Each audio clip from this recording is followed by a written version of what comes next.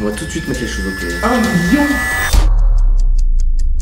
Ok stop, vous en savez déjà trop, donc comme vous avez dû le comprendre, dans 3 jours, mon nouveau court-métrage A Temporality sera en ligne, donc un court-métrage pour mes 1000 abonnés. Juste pour ceux qui ne savent pas ce que ça veut dire, A Temporality, c'est en français atemporalité, qui signifie hors du temps. J'ai trouvé que ce mot correspondait assez bien au sujet de ma fiction, donc voilà, j'ai décidé de le prendre comme titre. Du coup, je vais aussi profiter de cette vidéo annonce pour vous remercier, parce que j'aurai pas l'occasion de le faire dans la fiction, vous verrez. Alors bien sûr, 1000 ce n'est qu'un nombre, mais voilà, ça fait tout de même plaisir de l'atteindre, et c'est assez motivant pour la suite. Ce qu'il faut savoir, c'est quand même que atteindre 1000 abonnés, c'était l'un de mes rêves quand j'ai commencé YouTube, donc on peut dire que un de mes rêves s'est accompli, et ça, c'est un point positif. Et au passage, spécial dédicace à la millième abonnée, je pense que tu te reconnaîtra. Bon sinon pour en revenir au sujet de la vidéo, ce qu'il faut savoir c'est qu'au départ, la fiction que j'ai réalisée c'était pas du tout ce qui était prévu. Le début était assez similaire mais ensuite l'histoire était totalement différente. Alors pourquoi j'ai modifié ça? Tout simplement parce que nous sommes en confinement. Ce qui fait que ce que j'avais prévu de tourner n'était pas possible, donc j'ai dû tout changer. Mais du coup l'avantage du confinement c'est que j'ai eu de l'inspiration pour écrire une nouvelle histoire et ensuite du temps pour réaliser cette fiction. Étant donné qu'on ne peut pas sortir de chez nous, ce court métrage a été tourné uniquement dans deux pièces et je suis le seul acteur mais il y aura tout de même plusieurs lieux et plusieurs personnages. Vous comprendrez une fois que vous l'aurez vu. Bon je vais pas vous en dire trop pour pas vous spoiler mais j'ai encore quelques petites infos. Déjà au niveau de la durée, ce petit court métrage ne dure que 7 minutes, ce qui n'est pas très proportionnel au temps de montage car il est d'environ 25 heures. Alors je vous préviens tout de suite, c'est une fiction qui est un petit peu étrange, mais moi franchement j'aime bien l'ambiance, et j'ai globalement réussi à faire ce que je voulais. Et j'ai oublié de préciser aussi, je vous conseille fortement de regarder ce court métrage avec un casque ou des écouteurs, car vous aurez un meilleur ressenti de l'ambiance que j'ai voulu créer. Voilà pour les petites infos, et je tiens à préciser que ceux qui me suivent sur Instagram en savent un petit peu plus parce que j'ai posté quelques stories sur le tournage, et également en ce moment je poste des petites stories où je fais des défis assez sympathiques, comme celui-ci par exemple, ou celui-là. Donc si vous n'êtes toujours pas abonné, n'hésitez pas. Bon pour finir, étant donné que ce genre de projet prend quand même pas mal de temps, je vous invite à partager cette vidéo pour rentabiliser un petit peu. D'ailleurs vous avez 5 secondes pour partager.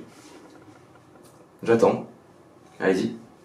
Parfait, merci. Mais le plus important, ce serait que vous regardiez ce court métrage dès sa sortie, donc dimanche 14h, et que vous le partagiez un maximum sur tous vos réseaux sociaux. Et ne me dites pas que vous avez pas le temps, que vous avez des choses à faire, hein, parce que je vous vois sur Netflix toute la journée. hein. Allez, pour finir, je vous dis tchou, c'est... Non, en fait, j'en ai marre de cette fin. Dites-moi en commentaire comment je devrais finir mes vidéos.